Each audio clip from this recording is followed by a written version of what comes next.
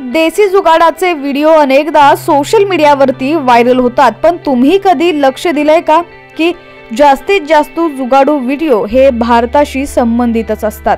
याचं कारण म्हणजे जुगाड तंत्रज्ञान भारतात अतिशय उपयुक्त असून खराब झालेल्या गोष्टींचा वापर करून ते वर्षानुवर्ष चालवले जातात. आपल्या भारतीयांच्या घरात एक कोपरा असतो जिथं कचरा तुटलेला किंवा जुन्या खराब झालेल्या वस्तू पडून असतात. पण जर तुम्ही जुगाडू असाल तर त्या सर्व गोष्टी तुमच्या कामी येऊ शकतात.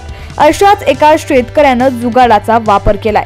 सोशल मीडियावर जेव्हा जेव्हा तुम्ही जुगाडाचे व्हिडिओ पाहता तेव्हा लोकांना खूप आश्चर्याचा धक्का बसतो. विशेषतः शेतकरी आपल्या शेतात आणि घरात ठेवलेल्या वस्तूंचा वापर केल्याशिवाय राहत नाहीत.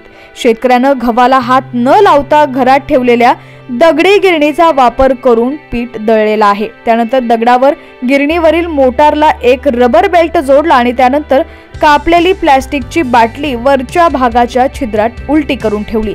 यानंतर अशा प्रकारे बाटलीच्या तोंडात एक पाईप नेऊन टांगण्यात आली आहे जिथून पाण्याचा थेंब थोडा पडत आहे. हा जुगाड पाहून तुम्हाला पाहून आश्चर्य वाटलं असेल. शेतकऱ्याची ही पद्धत अनेकांना आवडली. अवघ्या अकरा सेकंदात शेतकऱ्यानं घरात पडलेल्या निरुपयोगी वस्तूला मौल्यवान वस्तू बनवलेला आहे. हा जुगाड फक्त भारतातच शक्य आहे. तो आता सोशल मीडियावरती चांगलाच व्हायरल होतोय. तुम्हाला देखील या शेतकऱ्याचा जुगाड कसा वाटला आम्हाला कमेंट सेक्शनमध्ये नक्की कळवा. व्हिडिओ आवडला असेल तर लाईक करा. चॅनलवरती नवीन असाल तर चॅनलला सबस्क्राईब करायला विसरू नका.